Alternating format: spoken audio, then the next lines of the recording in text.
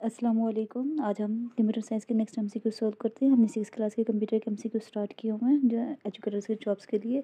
But ये basic ही MCQs हैं, जो कि हर एक एग्ज़ाम्स के लिए मोस्ट इंपॉर्टेंट है। आज का हमारा फ़र्स्ट एमसीक्यूज़ है throw which the following circuit keys वो ऐसा टू बी द पीसी अब आप लोग इनमें से देखेंगे पीसी की फुल फॉर्म क्या है, क्योंकि शॉर्टकट कीज़ के बहुत ज़्यादा एम पूछी जाती हैं। तकरीबन पी पी एस के हर पेपर्स में आप लोग गोल्ड पेपर्स करते भी होंगे, उठा के भी देख लें। कि इस तरह के एम पूछे हुए होते हैं। अब पी सी की फुल फॉर्म पूछी हुई है कि पी सी की फुल फॉर्म क्या होती है? पी सी होता है पर्सनल कंप्यूटर अब इसमें कहता है कि पी सी तक पहुँचने के लिए हम कौन सी शॉर्टकट की यूज़ करते हैं? Windows key plus E window plus E को एक साथ प्रेस करके हम कहाँ चले जाते हैं? पीसी में चले जाते हैं। नेक्स्ट है which of the following is the common use to store the documents music picture and download the file. अब इसमें कहता है कि जो हम चीज़ें हमारे कंप्यूटर में से पड़ी होती हैं, जैसे म्यूज़िक है, मूवीज़ हैं डिफरेंट चीज़ें होती हैं बुक्स हो, कुछ भी हो तो हम उसको किस चीज़ के अंदर सेव कर सकते हैं? डॉक्यूमेंट्स के अंदर हम उसको क्या कर लेते हैं? सेव कर लेते हैं उनको डिफरेंट से नाम दे देते हैं, जो भी हमने उनको क्या करना होता है, नाम देना होता है। नेक्स्ट है which component is make to easy to delete और undelete the files and the folders अब ये देखेंगे कंप्यूटर के अंदर जो भी चीज़ हम डिलीट करते हैं वो रिसाइकल बिन में चली जाती है। रिसाइकल बिन से हम दोबारा से अगर चाहें तो उस चीज़ को वापस लेके आ सकती है और उसको वापस से हम जिस फोल्डर में भी वो हो, होती है उधर आ जाती है। नेक्स्ट है।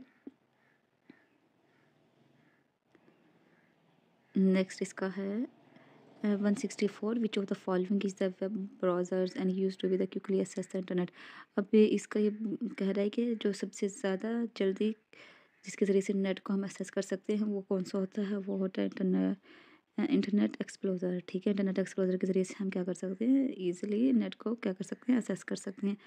नेक्स्ट है कि internet explorer was be develop by the Microsoft internet explorer को कब बनाया गया था? किसी ईयर में? नाइनटीन नाइन्टी फाइव में। नेक्स्ट है इंटरनेट एक्सप्लोजर इस एब्रीवेटिव या इंटरनेट एक्सप्लोजर की शॉर्ट शॉर्टकट फॉर्म कौन सी है? इसको किस तरह लिखा जा सकता है? आई ई आई ई को ये भी पूछा जा सकता है। आई ई की फुल फॉर्म क्या है? इसको दोनों लिहाज से आप लोगों ने क्या कर लेना है? याद कर लेना है। और मोस्टली जो पी पी एस सी के एग्ज़ाम्स होते हैं, उसमें शॉर्टकट की ही पूछी होती है तो आप लोग इनको तो अच्छे से याद कर लें।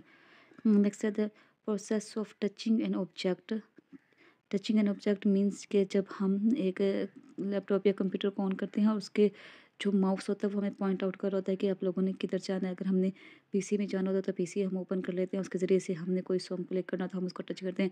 तो ये पूछ रहे हैं कि जो चीज़ों को हम टच कर सकते हैं कंप्यूटर के अंदर, वो किसके ज़रिए से कर सकते हैं? ठीक है? Pointer mouse is with the computer mouse pointer is with a उसका, उसको हम क्या नाम दे सकते हैं? पॉइंटिंग कह सकते हैं, जिसके ज़रिए से हम चीज़ों को टच कर सकते हैं within the computer computer के अंदर से। नेक्स्ट है one sixty eight one sixty eight में कहता है कि to activate the start by using the key keyboard process keyboard को हम कैसे एक्टिवेट कर सकते हैं, या स्टार्ट कर सकते हैं? विंडोज़ की के ज़रिए से भी ये कंट्रोल और ई एस का मीनिंग होता है कि फुल फॉर्म इसकी क्या होती है? इसकी फुल फॉर्म भी पूछी जा सकती है। इसके कंट्रोल एंड स्केप के ज़रिए से हम क्या कर सकते हैं? विंडो को एक्टिवेट कर सकते हैं। नेक्स्ट है कि which one consist of the group of related the commands ये जो पूछा हुआ है ना कि ये वाली कमांड्स किसके अंदर होती है? ये स्टार्ट मेन्यू के अंदर पाई जाती है बट इधर ये ब्लैक एंड वाइट है तो इसके अंदर क्लियर नहीं है। अगर पेपर्स में आएगा तो ये क्लियर चीज़ पूछी होगी और क्लियर बना के दिया होगा। नेक्स्ट कहता है कि match the given start button with the correct option अब कहते हैं कि ये इस तरह की विंडो है, ठीक है? उसके अंदर फोर चीज़ें कहते हैं कि ये वाली विंडो का लोगो है और ये स्टार्ट बटन के पास है तो ये कौन सी वाली विंडो है? इसमें ये नेम पूछ रहा। है ये जो इस तरह का लोगो बना हुआ होता है, वो विंडो नाइन्टी एट का होता है। ठीक है? नेक्स्ट कहता है वन सेवेंटी वन में। वन सेवेंटी वन में कहता है कि match the given start button with the correct option अब ये देखें। अब इसमें जस्ट ये फोर बॉक्स बने हुए हैं ऐसे करके, ठीक है? और ये जो फोर बॉक्स होते हैं, इसके साथ कुछ भी नहीं है और जो स्टार्ट बटन लिखा हुआ है, ये डिफरेंट कलर के होते हैं। तो ये होती है विंडो एक्सपी की, ठीक है? ये विंडो एक्सपी की लोगो बना हुआ होता है। नेक्स्ट है, कहता है कि match the given start button with the correct option अब ये देखिए सेम यही चीज़ है बट इसके ऊपर क्या लगा हुआ है? सर्कल लगा हुआ है। और जिस जगह पे सर्कल आ जाता है तो ये किसका बन जाता है? विंडो एक्स सेवन का बन जाता है। अब ये तीनों में पूछा हुआ था कि कौन से, कौन सी विंडो है? तो आप लोगों ने इनके लोगों याद कर लेने, लोगों की वजह से आप लोगों को पहचान लेंगे ये कौन सी विंडो है। आज हमने ये कुछ important M C Qs cover किए हैं कंप्यूटर साइंस के। आप लोग इन एम सी क्यूज़ को देख लें।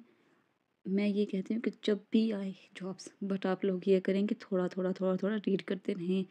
कोई भी बुक उठा लें, पंजाब टेक्स्ट बुक से रीड कर लें। इनसे ना आप लोगों का ये फ़ायदा होगा एजुकेटेड के अलावा आप पी एस सी के एफ़ पी एस सी के एफ़ आई ए के कोई भी एग्ज़ाम्स दे रहे हैं, इनमें बेसिक चीज़ें।